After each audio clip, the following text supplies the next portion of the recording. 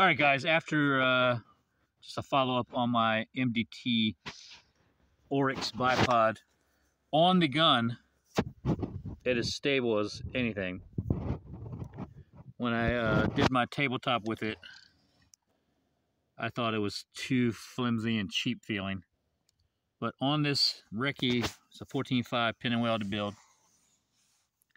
It feels solid. So I'm going to keep working it, but at nah, at the point right now, I went from a thumbs pointing down to a thumbs pointing sideways. We'll see how it holds up.